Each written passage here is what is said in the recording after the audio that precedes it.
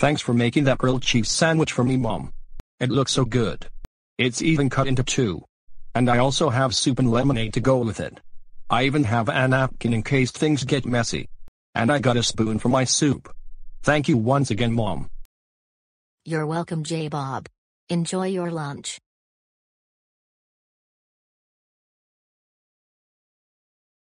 Time for me to dig in.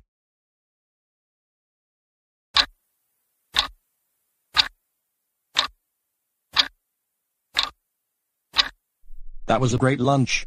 I really enjoyed it. This is the best day ever.